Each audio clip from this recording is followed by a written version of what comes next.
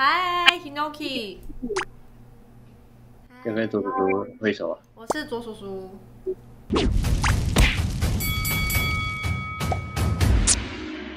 欢迎欢迎欢迎欢迎欢迎各位观众，大家好，欢迎收看《地狱来早茶》。来早茶，欢迎我们《地狱来早茶》的第一集的来宾，未来很有可能会变成主持人的啾啾麦陈宏仪。嗯，今天看有没有通过这个考验，表现不好我就不要再来了。我们今天找一个猛的猛，这个能量饮料，我每天都喝两瓶，喝两瓶的早。我这个其实是白开水，但是讲白开水有点弱，大家都把它当成这个酒 酒酒精酒酒精的酒精饮料，好不好？酒精饮料。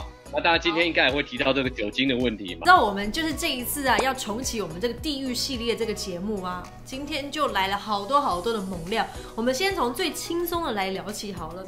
乐天桃园的羊头霸凌爵陈 Ballinger 棒 Bodinger，对，然后领队就普伟清就说了，保证不再发生这件事情。你怎么看？因为他是连续两次获得了 MVP 记者票选出来，然后但是赛后不接受访问，是有一些个人的就是迷信上面的考量啦。你怎么看呢？我觉得蛮奇怪的。其实这个我觉得好像就回到以记得以前我们那个采访 HBL 的时候，那个在小区蛋的时候一样的问题啊。我就不要说是谁啦，就是那种某座山哦，然后长得蛮帅的一个教练，就你知道山有三山种，是你做，然后长得蛮帅的，那就大家各自解读啦。一说好了要访问他了，结果我们也是头头也不回就走掉了。然后当然你讲中华职棒更不用讲了，职业联赛你你看 NBA 哪一个人不给访？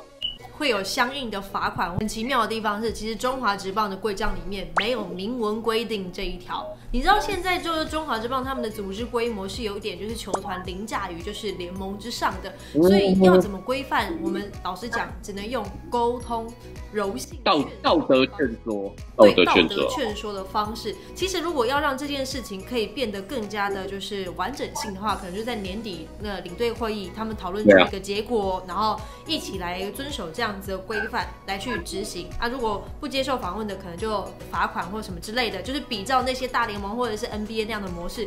但是也是有可能会出现，如果说真的球员不想接受访问，他们反正领的薪资也挺高的，就缴一缴罚金，然后就真的都不给访。我们有采访你的需求，你们有被曝光的需要，鱼帮水，水帮鱼，好不好？我觉得是彼此尊重彼此的工作啦。哎、你有没有觉得很惊讶？三十二年，然后我们走了这么久，全台湾算是最制度最完整的职业运动，然后我们到三十二年还没有搞定这件事情。会有很多的网友就说，都是你们记者在霸凌球员，你们在霸凌他霸凌者接受为什么要这样逼迫他呢？呃，其实我们真的没有逼迫他，因你获选为 MVP，其实记者们真的不会问任何太刁难的问题。这件事情呢，很有可能未来还会继续发生。那我们身为记者，就是也是做好自己的工作大家要稍微体谅一点，就是说我们也不是白目，也不是没事找事做，没有，因为那叫做我们的工作，好不好？我们不做这件事情的话，没有办法交差。而且大家也都是这一个这一个职业运动里面的一环吧，啊，媒体也是其中一环。郭幸存连五年全大运夺金，就像我如果跑去我儿子那个小去跟小一的同学小朋友打球，然后一直盖火锅，然后灌小学框的话，这样不行，这样子很像，这就是霸，这个就是霸凌了。对啊，对，就是霸凌，对不对？这就完全是霸凌绝哦。再来一个也是好消息，就是魁违十八年，我们台湾夺桌球亚锦赛男团的银牌，基本上这是在十月二号的消息啦。因为我们连续八届都是并列，是并列铜牌之后，嗯嗯嗯嗯下十八年来首面银牌，就往前跨了一大步。我们东京奥运过后呢，其实大家综合项目的赛事关注度也越来越高。对如果没有办法看到转播的话，也欢迎锁定 TSNA，趁机。哎，哎 谁？哦，好好，对啊，对对对，我正在想说，哎，哪里可以看呐、有没有一些专业的这个平台、体育频道可以看的，对吧？而且而且 TSNA 的这个素材绝对百分之百合情合理合法。接下一题是不敌纽西兰，中华女篮亚洲杯名列第六名，如何与列强抗衡？前检是疾呼啊，规划球员快规划啊，对啊，哎、我不知道哎、我们两个也访问过在篮球摸骨这个旗舰节目访问过 Quincy Davis，我们也提到说 Davis 是要融入这个我们台湾的这种篮球文化。我觉得这真的不是说随便找一个长得高，然后外国人愿意规划钱给他就好的问题。希望相关的单位啊，我们不断的在强调那个单位，赶快想点办法吧，是不是？有没有听到小朋友的哭声？有，他对于这件事情也感到非常的悲鸣，对，非常不明之不平之声，受不了了，要 push 一下。哎，说到了受不了这件事情，还有一件事情也让人很受不了，就是自由潜水比赛哦，撤掉我们国旗，AIDA 道歉。不过这件事情也让我们总算看到世界上起码还有正义感这三个字。最近跟我们越来越好的友邦日本，首先发声说，哎。那没有国家，那我也不要国家啦。对啊，你要政治归政治，体育归体育，那就来归啊。海里看海归啊！感谢那些就是声援的，就是其他的。I salute you。虽然会在，应该还会再发生，但是我们不能不替自己发声。但有一些事情哈。就是要把它大破大立给它做起来啦。比方说出征前惩处国家队总教练、选手、足协就表示纪律大于一切。这件事情的状况是这样子：出征泰国备战亚洲杯资格赛附加赛的前夕哦，就足球协会又突然做出了这个纪律的惩处，对总教练王家忠以及包括了陈浩伟啊、白少宇在内的六名球员寄出了停权的处分。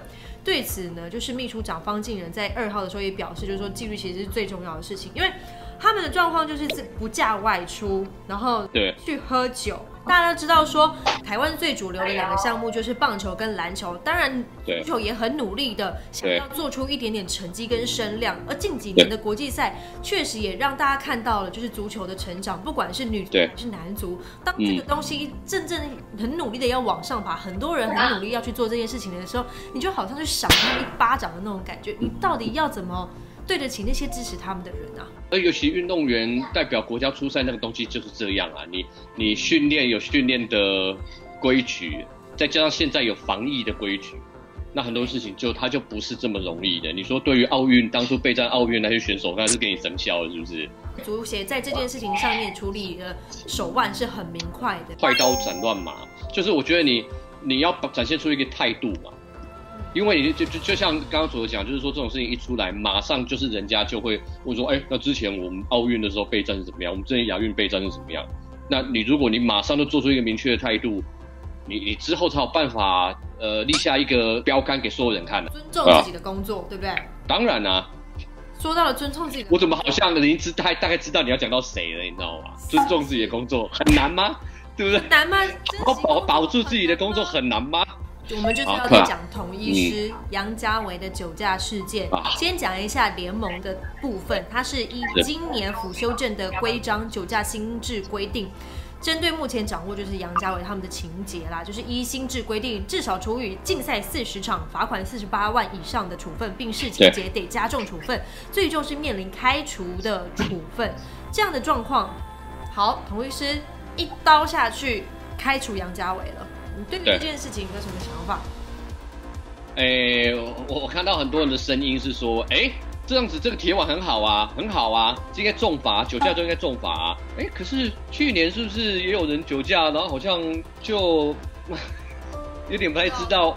我们刚才我们刚才讲我们刚才讲的双标，你知道吗？就是是一哦，对是刚刚你们这样讲的那个规矩是中华职棒二军的规矩，是不是？哇塞，你好幸运，你好地狱哦，好可怕！没有 我，没有，我是引述新闻的，很多就是哎，这个是是一区的规矩，是二区才是，是因为这样吗？